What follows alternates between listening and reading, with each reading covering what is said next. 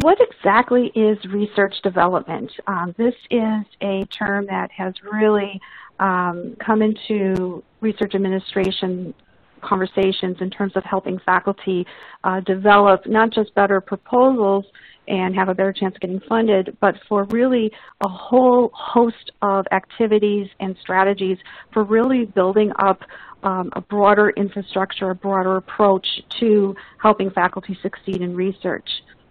One of the questions that we often get is, is research development part of pre-award?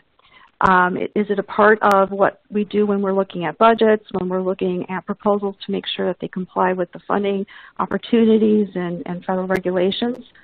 Or is it pre-pre-award? Is it work that we're doing before we even get to the pre-award activities? Um, so is it really about performing tasks that help the faculty develop more competitive proposals?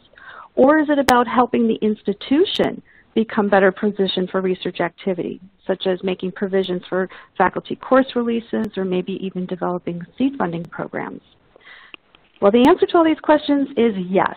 Research development encompasses all of these. It helps not just only the faculty member um, develop their proposals and, and accomplish their research goals, but it also helps strengthen the institution as well. So how do we define research development?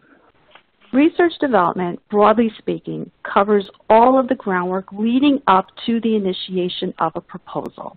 And this typically falls into four categories.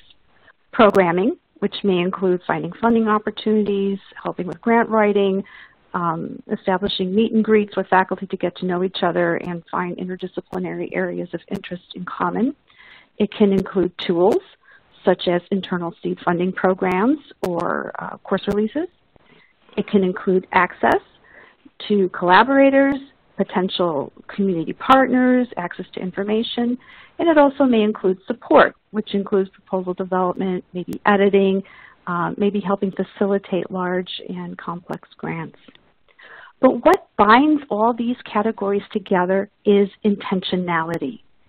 That is, doing each of the tasks in tandem with each other, not thinking of each function separately, but part of a whole, a creating a foundation from which you help faculty and your institution help realize their goals.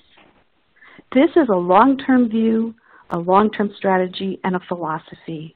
Cultivation is a constant theme, and it's an ongoing process. It's just not something that's just done once and, and not cared for and not thought through um, on a regular basis.